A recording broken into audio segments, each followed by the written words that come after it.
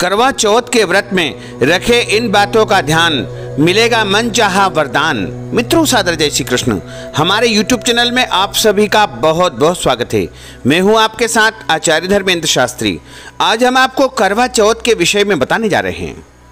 कार्तिक मास के कृष्ण पक्ष की चतुर्थी तिथि को करवा चौथ या कर्क चतुर्थी के रूप में मनाया जाता है। करवा चौथ के दिन चाँद का दर्शन करने के बाद उनका पूजन अर्चन करके इस व्रत का समापन किया जाता है। इस बार करवा चौथ का व्रत 17 अक्टूबर 2019 गुरुवार को होगा और इस दिन रात्रि के समय चंद्रोदय आठ बजकर के पंद्रह मिनट पर होगा। करवा चौथ के दिन सभी महिलाएँ अपने पति की लंबी आयु के लिए इस व्रत को करती है। इस व्रत को निर्जला व्रत किया जाता है। सुबह से लेकर के चंद्रोदय तक निर्जला व्रत किया जाता है एवं चंद्रमा का उदय होने के साथ ही चंद्रमा का पूजन करके, अपने पति का पूजन करके, उनकी आरती एवं उनका आशीर्वाद लेके ही उनके हाथों से जल ग्रहण किया जाता है। स्त्री को शक्ति का रूप माना जाता है। इसलिए उसे यह वरदान मिला है कि वो जिस चीज़ के लिए भी तप करेगी, उसे उसका फल अवश्य प्राप्त होगा।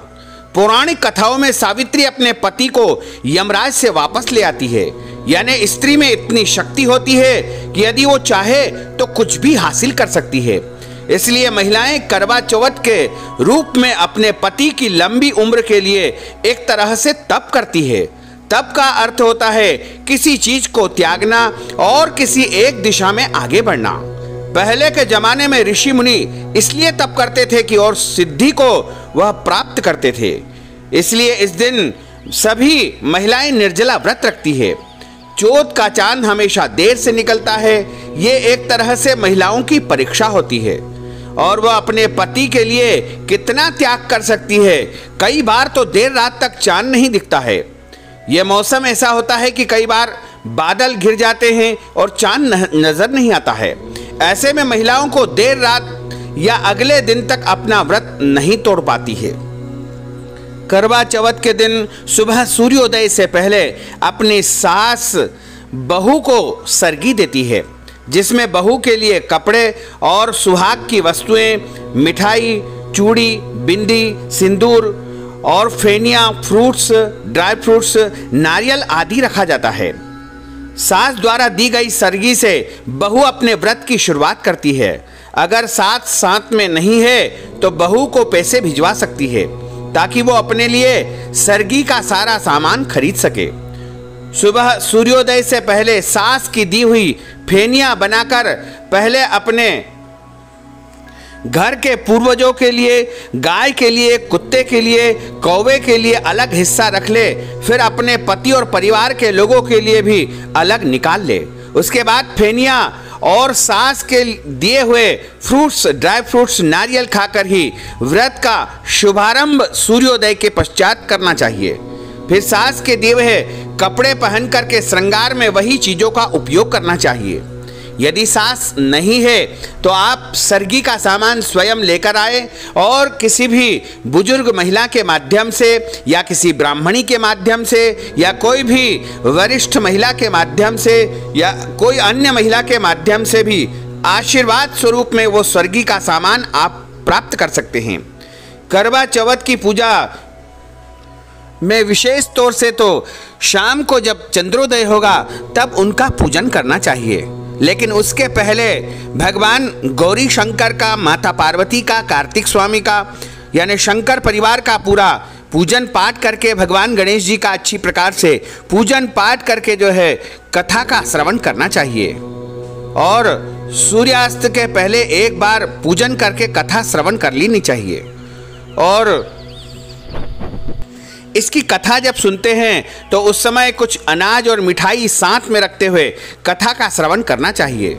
करवा चौथ में थाली बांटने का विशेष महत्व है। इसमें अमूनन सात सुहागन आपस में गाना गाते हुए थालियाँ बटाती है और वो तब तक गाना गाती रहती है, जब तक उनकी थाली एक उनके पास नहीं पहुँच जाती।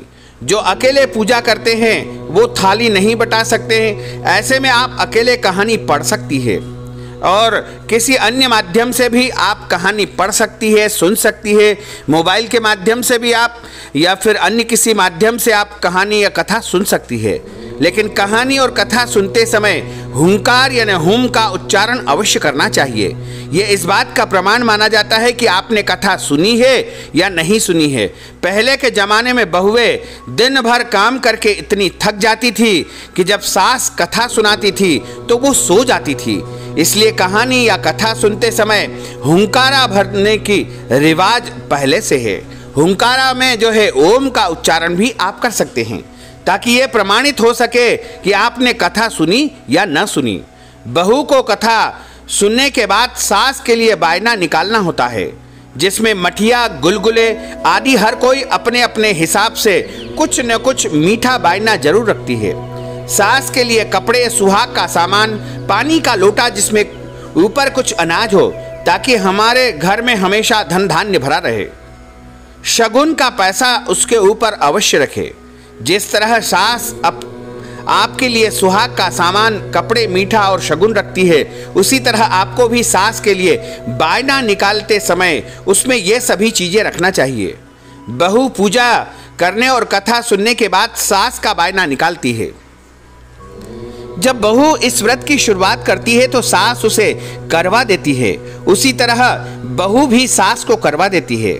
जब आप पूजा करते हो, कथा सुनते हो, उस समय आपको दो करवे रखने होते हैं। एक वो जिससे आप अर्घ देते हैं, यानी जिसे आपकी सास ने दिया था। दूसरा वो जिसमें पानी भर करके आप बायना देते हैं और देते समय अपनी सास को देती है।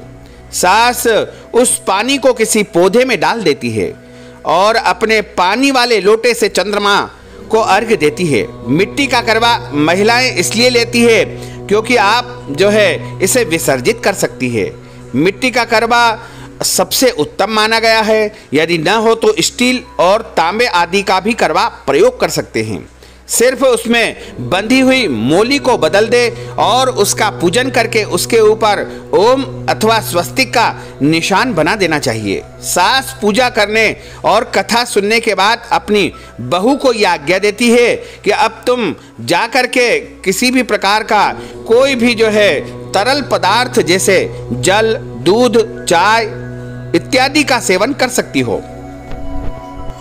और यदि आप पूरी तरह से निर्जला व्रत करने में असमर्थ हो तो दिन में पूजन करने के पश्चात अपनी सासू माँ से आज्ञा लेकर के जल, दूध, चाय इत्यादि का सेवन कर सकती हो।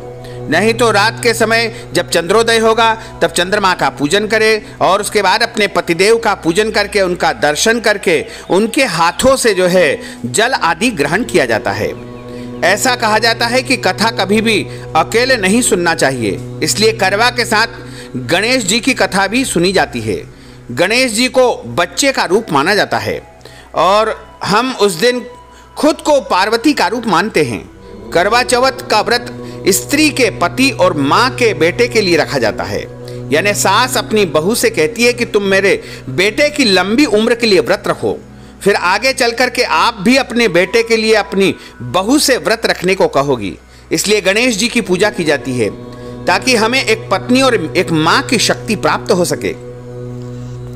जो महिलाएँ नौकरी करती है, काम करती है, वो एक साफ़ बोतल में सास के हाथों से दिए हुए करवे का पानी ऑफ़िस में ले जाएँ और सास का दिया हुआ कर्मा एकदम खाली न करें। उसमें से थोड़ा बहुत पानी अवश्य रहने दे और थोड़ा थोड़ा पानी यदि चाहे तो वो ऑफ़िस में सास के द्वारा दिया गया है, उसको पी सकती है। और शगुन का कुछ पैसा, जिस समय आप कथा पढ़ रही, सुन रही है, उस समय अनाज और पानी अपने पास रखे। और अनाज जो है, हुंकार भरते भरते किसी भी पात्र में रखते जाए और उसके बाद जो है, साबुत अनाज से चंद्रमा को अर्घ देना चाहिए। पानी के साथ में चंद्रमा को चांदी बहुत पसंद है, क्योंकि वो शीतलता प्रदान करता है। इसलिए अर्घ देते समय चांदी का लोटा सिक्का या अंगूठी हाथ में अवश्य रखे। फिर जिस जल और अनाज को साथ में रख कर के आपने कथा सुनी थी, उसके माध्यम से अर्घ देना चाहिए। यदि आप ऑफ़िस में, कार्यक्षेत्र में बहुत सी चूड़ियाँ पहन करके नहीं जा सकती है तो दो, चार, छह इस तरह के इवन नंबर में चूड़ियाँ पहन करके जा सकती है। यानी आप कुछ संख्या में जो है चूड़ियाँ अवश्य पहन करके अपने कार्यस्थल पर जाना चाहिए। कुंवारी लड़कियाँ कैसे रखे करवा चौथ का व्रत? कई लोगों को यह कन्फ्यूज़न रहता है कि कुंवारी लड़कियाँ क्या करवा चौथ का व्रत रख सकती है? जी हाँ कुंवारी लड़कियों को भी करवा चौथ का व्रत अवश्य करना चाहिए। कुंवारी लड़कियाँ चाँद को न देख करके, तारों को देख करके, उनको अर्घ दे करके अपना व्रत खोल सकती है। और अगले जन्म में और इस जन्म में उत्तम पति की प्राप्ति के लिए सभी को व्रत करना चाहिए। जिस तरह डोली तारों की छवि में छाँव में जाती है और दुल्हन तब तक अपने चाँद को नहीं देख पाती है, ठीक उसी तरह कुंवारी लड़कियाँ अपने पति से नहीं मिली होती है, इसलिए उन्हें तारों को देख करके व्रत खोलना होता है। उन्हें किसी से सरगी नहीं मिलती है, इसलिए उन्हें भी किसी का को सुहाग का सामान नहीं देना होता है। कुंवारी लड़कियों को तारे देखने के लिए छलनी का इस्तेमाल नहीं करना होता है, क्योंकि उन्हें छलनी में किसी की मूर्त भी नहीं देखनी होती है। दिन भर व्रत रखने के बाद, दिन में पूजा और कथा सुनने के बाद, शाम को जब महिलाएँ चंद्रमा को अर्घ देती है तो उनकी पूजा की थाली में ये चीज़ा, ये वस्तुएँ होना बहुत आवश्यक होता है। एक छलनी, आटे का दीपक, देशी घी का शुद्ध और आटे का दीपक इसलिए रखा जाता है क्योंकि आटा भी अनाज ही होता है। फल, ड्राई फ्रूट्स, मिठाई मिठाई की जगह घर में कोई भी बनी मिठाई आप रख सकते हैं। और दो पानी के लोटे, एक चंद्रमा को अर्घ्य देने के लिए और दूसरा जिससे आप पहले पति को पानी पिलाती है, फिर वो आपको पिलाते हैं। पति को पहले पानी इसलिए पिलाया जाता है कि हम उन्हें परमेश्वर मान करके पहले उन्हें भोग लगाते हैं। और फिर उसे खुद भी खाते हैं। जिस तरह नवरात्रि, शिवरात्रि आदि व्रत से में हम सबसे पहले भगवान को भोग लगाते हैं, फिर उस प्रसाद को हम ग्रहण करते हैं। ठीक उसी तरह करवा चौथ के दिन पति को परमेश्वर मान करके सबसे पहले उन्हें भोग लगाया जाता है, फिर खुद उसे ग्रहण किया जाता है। अर्घ वाले लोटे का पानी न पिए, फिर आप पति को ड्राई फ्रूट्स और मिठाई खिलाएँ। और पति भी आपको ये सब चीज़ खिलाएँगे। अर्घ्य देते समय वो चुन्नी अपने साथ ज़रूर ले जाएँ, जिसे आपने कथा सुनते समय पहन रखा था। चंद्रमा को छलनी में दिया रख करके उसमें से देखे, फिर उसी छलनी से तुरंत अपने पति को देखे। छलनी में दिया रखने का रिवाज इसलिए बना, क्योंकि पहले के ज़माने में जब स्ट्रीट लाइट्स नहीं हुआ करती थी तो महिलाएँ चाँद देखने के लिए के बाद छलनी में रखे दिए के प्रकाश में अपने पति को देख सके। कई लोग जलते हुए दिए को पीछे फेंकते हैं, ऐसा नहीं करना चाहिए। आप उस आटे के दिए को जलता हुआ वहीं पर छोड़ आए। कई लोग दिए के बुझने को भी अपशकुन मानते हैं, लेकिन ऐसा कुछ नहीं है। यदि तेज हवा से दिया बुझ भी जाता है तो उसमें कोई अपशकुन नहीं मानना चाहिए। फिर घर आकर के साथ मिलकर के भोजन करें, फिर किसी भी पूजा के दिन सात्विक यानी बिना लहसुन प्याज वाला भोजन करना चाहिए। करवा चौथ के दिन सात्विक भोजन करें। पति पत्नी आपस में बिल्कुल लड़े नहीं और सभी प्रकार से एक दूसरे से प्रेम रखें। और उस दिन सोलह श्रृंगार करके सौभाग्यवती महिलाएँ इस व्रत का संपन्न करने का प्रयास करें। साथ ही इस दिन जो है, झूठ नहीं बोलना चाहिए। और किसी भी प्रकार का कोई गलत, अनैतिक और इस प्रकार का कार्य नहीं करना चाहिए जिससे आपका व्रत भंग होता है। साथ ही करवा चौथ की रात्रि में पति पत्नी को एक दूसरे से दूरी बना करके रखना चाहिए। यानी एक दूसरे का संसर्ग उनको नहीं करना चाहिए और उस दिन जो है ब्रह्मचर्य का व्रत अवश्य पालन करना चाहिए। तो करवा चौथ की जो रात्रि होती है, बड़ी दुर्लभ रात्रि होती है और इस दिन चंद्रमा का पूजन करके, पति का पूजन करने के बाद पति के हाथों से जल ग्रहण किया जाता है।